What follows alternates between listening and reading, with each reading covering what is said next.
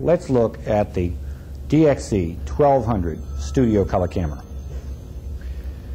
This color camera will be a major innovation in our color line, and we feel that our sales in 1974 will be as many as we are capable of manufacturing. The reasons for our enthusiasm about this camera is that it fits almost every need. It would be a low-cost color camera, selling for approximately $5,000, possibly a little less.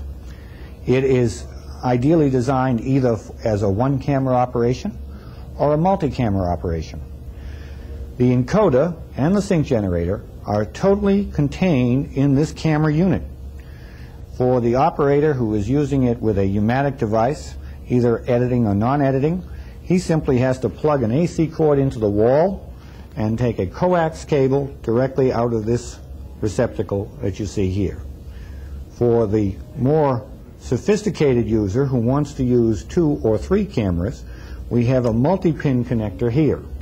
This multi-pin connector goes back to a junction unit that engages both the tally system and the intercom system.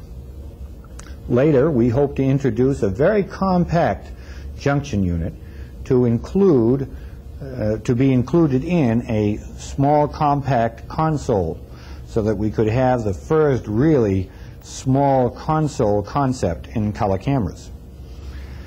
The viewfinder tilts and serves two functions. Not only as a indicator of what the picture material is for the camera operator, but it eliminates the requirement for expensive waveform monitors in that we've incorporated a waveform sample into this viewfinder. In addition to doing a waveform sample for regular video levels, it also sets up color levels by nulling for white balance. The controls of the camera, all located here on the rear, are quite simple. But we have minimized uh, their use, but provided enough so that we could give good balance between several cameras as well.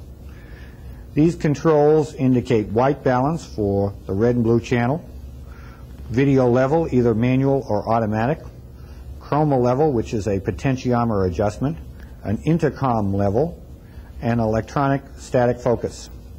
Pedestal is located here. These levels are all adjusted through the waveform on the viewfinder of the device.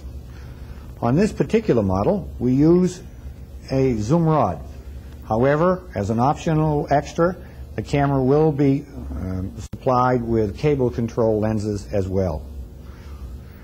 It utilizes our Trinicon invention, which is a single tube type camera.